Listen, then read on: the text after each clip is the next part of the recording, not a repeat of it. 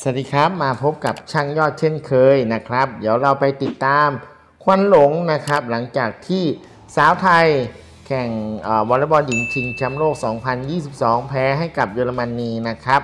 ซึ่งโซเชียลก็เดือดอีกนะครับ เมื่อกฤษดาสมคเนนักวอลเลย์บอลชายทีมชาติไทย ได้โพสต์ฝากสมาคม หลังจบเกมวอลเลย์บอลหญิงนะครับที่พ่ายให้กับเยอรมนี วอลเลย์บอลหญิงทีมชาติไทยแพ้ทีมชาติเยอรมนีไป1ต่อ3เซตนะครับด้วยคะแนน 19ต่อ25 22ต่อ25 25ต่อ18 และ 23ต่อ25 ในศึกลูกยางชิงแชมป์โลก 2022 รอบที่ 2 ในสาย F นะครับณเมืองลอสประเทศโปแลนด์เมื่อช่วงค่ำวันพุธที่ผ่านมานะครับ ซึ่งอย่างไรก็ตามแมนกฤษฎาสมคะเน นักวอลเลย์บอลชายทีมชาติไทยได้ออกมาโพสต์ Facebook ส่วนตัวนะครับ หลังจบเกมดังกล่าวว่า ขอฝากสมาคมไม่ต้องเปิดเรียนโค้ดหรอก ช่วยเปิดสมัครโค้ดโซเชียลดีกว่า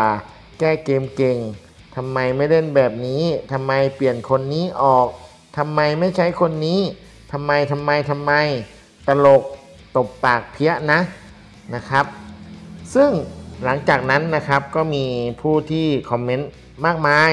นะครับ สำหรับกฤษดาสมคเนติดทีมชาติชุดใหญ่ตั้งแต่ปี 2007 ปัจจุบันคว้าแชมป์ซีเกมมาแล้ว 4 สมัยเลยนะครับ อันนี้ก็ก็จริงอย่างที่เขาพูดนะครับ อย่างสมมติว่าถ้าน้องเล่นแพ้เนี่ยเราต้องให้กำลังใจเขาเพราะว่าแล้วแต่ละวันเพราะว่าบางวันเนี่ยในการแข่งขันลูกกลมๆนะครับ จะออกฝั่งไหนก็ได้ ซึ่งถือว่าทีมสาวไทยนะครับมาถึงขนาดนี้ก็ถือว่าเก่งแล้วนะครับ ในโปรแกรมนัดต่อไปนะครับ ทีมชาติไทยก็จะพบกับทีมชาติเซอร์เบีย ในวันศุกร์ที่ 7 ตุลาคม 2565 เวลา 20 นาฬิกาตามเวลาของประเทศไทยนะครับ จะผลแพ้หรือชนะยังไง แต่เราเป็นคนไทยเราก็ต้องเชียร์กันต่อไปนะครับ เพราะว่ากำลังใจของน้องๆก็คือกำลังใจจาก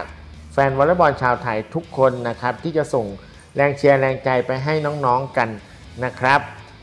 สำหรับคลิปนี้ช่างยอดก็มีข่าวอัปเดตเพียงเท่านี้นะครับ อย่าลืมกดติดตามกด Subscribe กดกระดิ่งด้วยนะครับ เดี๋ยวเจอกันใหม่คลิปหน้านะครับสำหรับคลิปนี้ สวัสดีครับ